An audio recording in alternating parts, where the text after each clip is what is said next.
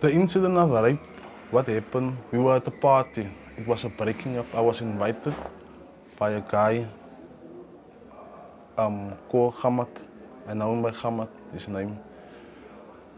Um, I was invited, it was Telkom's breaking up. So they had a breaking up party. So we came there, we had a lot of drinks, we danced, everything. So there we were. In this house party was this chick, this girl. So she had so a short piece of mini on. And she was all over me the whole night. Besides her, there's other girlfriends also, friends of mine that I only that I knew. She wouldn't even give them a chance to come sit by me or whatever. She was just all over me. And we had drinks and on top of drinks and on top of drinks. So we were all under the influence at the end of the night. And with that, we went up to the stairs. It's a, it's a masonite home. The staircase up. So we went up to the toilet, me and her went up together and we went into the room. So we did um fry. We did fry, you know. And so afterwards, when she went to go lay on the on the bed in the same time, we did first have romance and so on, whatever. And afterwards, with the laying of her on the bed, with the sword meaning her legs was open at that time. So obviously I didn't ask her, but to me it felt like body language. So that is the time where I, I took weird sex. That is the time where penetration started. But in the same time, not even after two minutes, where she stopped me and she said, this is not the way she wanted it. And so I stopped. I, went a little bit on trying and forcing her. I mean, it's difficult for a man just to stop immediately. But so I stopped with the penetration, went to the toilet, and she went down. And this was in a house full of people. I mean, for any guy with the intention of raping someone, you almost never do something in a place surrounded with people. You'd have tried to do it more privately, maybe try to drag out of the house or get her somewhere else where he can go and do his thing. It was never in my intention doing the things. But there I got 10 years. The court sentenced me 10 years. Afterwards, she turned and went and was say that, yeah, I raped her. Even the next morning, still, I went to go talk to her. We were in the same room, everything.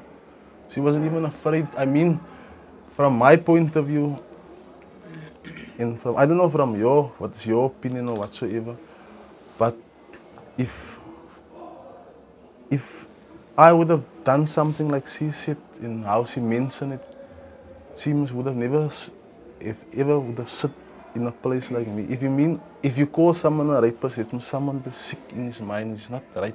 He's not functioning right.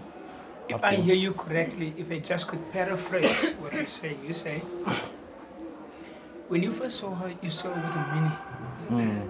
Yes. and that things and that mini sent a message to you.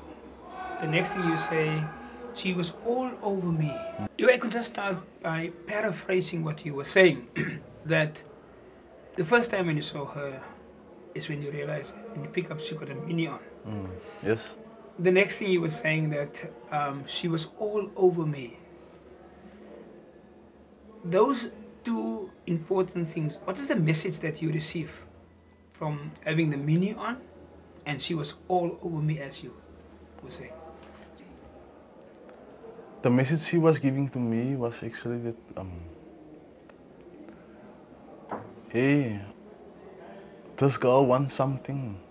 Oh, she she is up. She's got something up to her sleeve, because all my other friends, or the girls that I knew longer before her, this was the first time I met, in the first time she met me that night also. So the message to me she was sending, and she didn't want one of them near me. The moment one of them got near me, she somewhat skirked them off. You you said to me that um, um, um, the message that she wants. By now, in the retrospection, what was the thing that she was looking for, according to you? Obviously, for me, from my point of view, in my opinion, for any man would get other messages in his mind. I don't know from yourself, Mr. Dungus. Okay. From your perspective or your point of view. So what was the message that she was sending? What what if you could name it, give it a name. Did she want sex? She wants sex. Okay. Now you, you go up to her, um, you go up and she was lying, she got a mini on. Yes.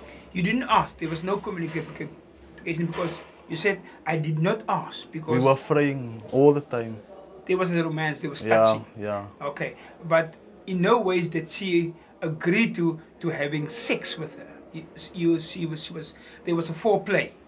Mm. To and me, having the mini, uh, uh, the mini on and lying on the bed is gives uh, the signal by having romance and, and touching and feeling and having foreplay you assumed that she's saying it's okay to have sex with Yeah. me. Is that what you were saying? Yes, okay. So now you you you, penetrate. Yes, and and after a minute or two you say two minutes she then realized but i didn't give him permission.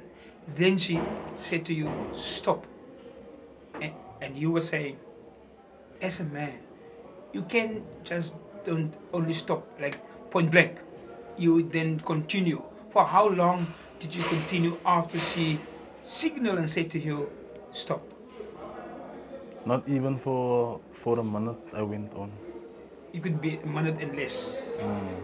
So, so the moment that when she realized, then when she decide, I don't want this. So she give an indication by communicating to her. Yes. How do you feel now, you know, hindsight of what happened that night? I regret, I regret it. I regret every moment of it. If I can turn back that night and never would have ever bothered with her, then I would have done so.